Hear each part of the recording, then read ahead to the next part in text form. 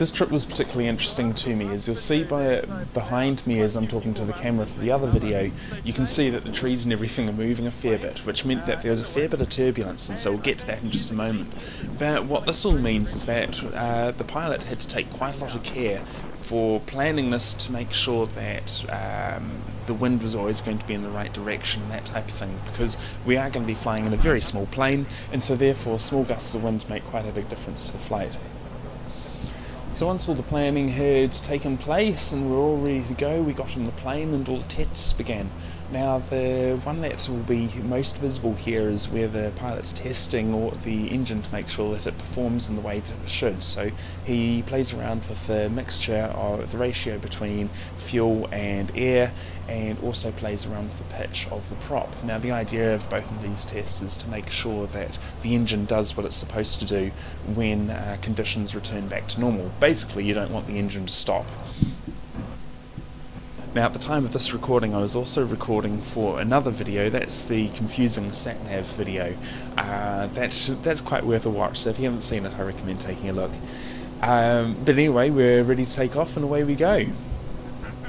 Now somewhere around now you're going to start noticing that the plane's shaking around a fair bit. It was quite funny, we actually watched a few other planes take off through this area so we knew exactly when it was going to hit. It, it hit every single plane at roughly the same point so it was like... Uh, um, it was quite funny to sort of see just how much the planes moved, and then the pilot would correct and everything, and uh, away they'd go. And so, uh, anyway, it happened to us as well, and we knew what to expect, and uh, the pilot did a beautiful job of uh, dealing with it.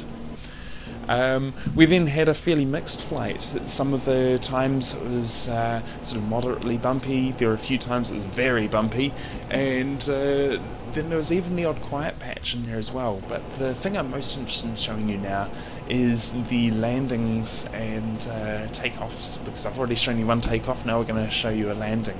So we actually had to circle around uh, this airport. Not actually, it wasn't. It was less of a necessity, but more of, hey, let's do this just so then we've got a good idea of what we're uh, what we're dealing with. We can do things like have a look at the windsock and all that type of stuff.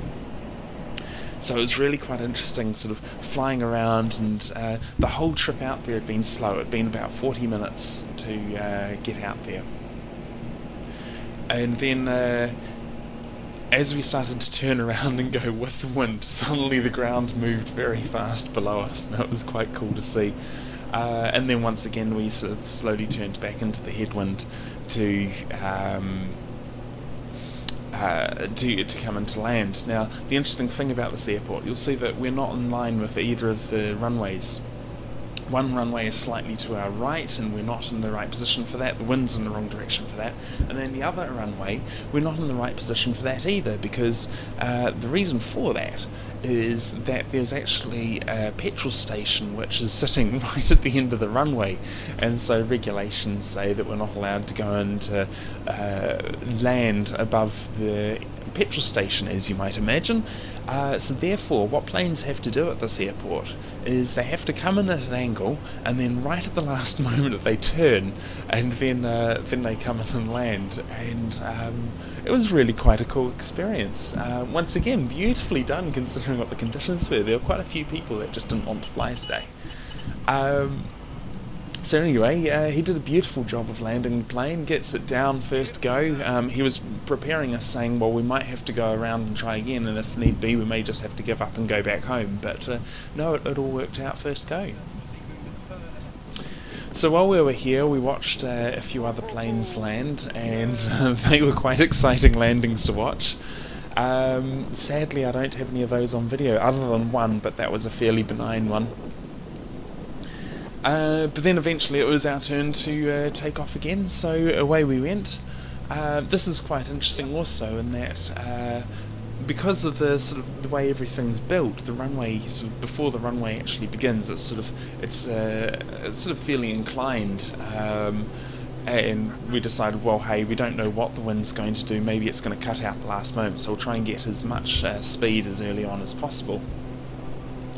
And so we start off on the syncline, we start going down, and he just revs it up like you do, and then uh, we're going forward, and uh, we actually took off before the runway began, just because there was that much headwind.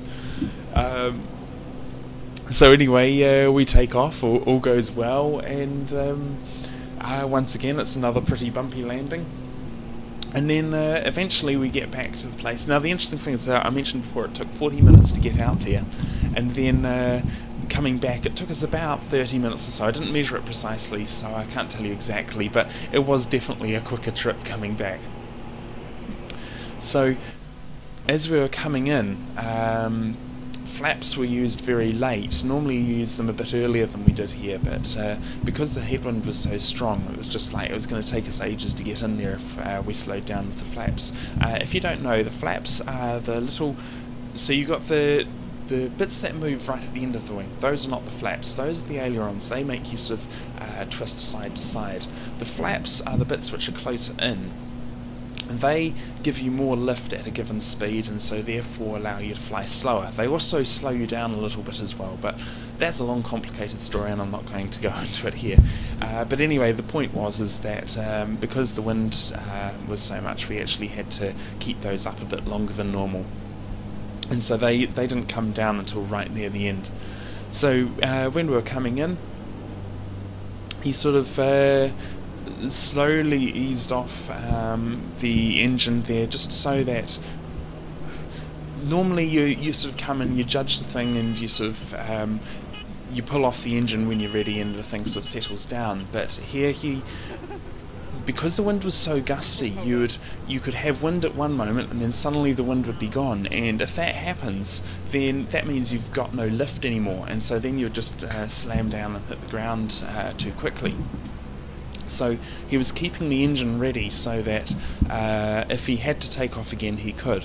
Uh, but the side effect of this was that because we had so much wind, we're still moving forwards, the wind was still going over the wing, and so therefore uh, we still had uh, too much lift, and eventually he just had to cut out the engine, and so then we came down. Um, but yeah, all in all, very, very well well flown. I was very impressed. Um, it was a great flight, and uh, I look forward to many more. Uh, like I say, um, I filmed uh, quite an interesting challenge um, on these flights, so if you're interested, take a look at the other video to see what it was I was up to. Um, there's more photos up on funnyhacks.com, so if you're uh, interested in having a look, I recommend you do so. That is all.